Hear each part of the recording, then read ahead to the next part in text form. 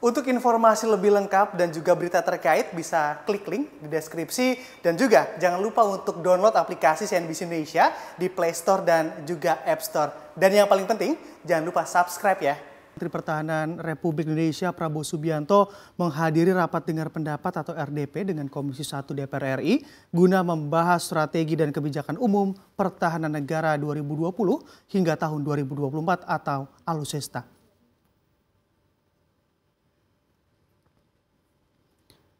Prabowo menjelaskan ia hadir didampingi dengan Wakil Menteri Pertahanan dan juga beserta sejumlah jajaran mulai dari Panglima TNI, Kasat, Kasal hingga Kasau yang ikut menjelaskan sejumlah rencana dan strategi pertahanan kepada anggota Komisi 1 DPR RI yang digelar secara tertutup.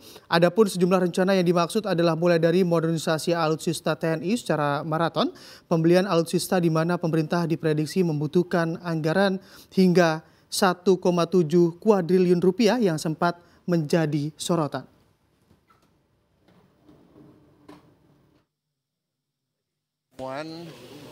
Uh, ya kita kita akan uh, rencana rencana ke depan tentunya akan ada tanya jawab dan sebagainya ya kita akan berusaha menjelaskan yang segamblang-gamblangnya. Se yang, yang uh, anggaran yang 1.750 triliun itu Pak?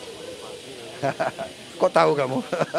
Dari media Lebih tahu kamu. Berarti semua ya. akan dijelaskan ya Pak nanti dalam rapat nanti? Insya Allah akan ya. Oke. Okay.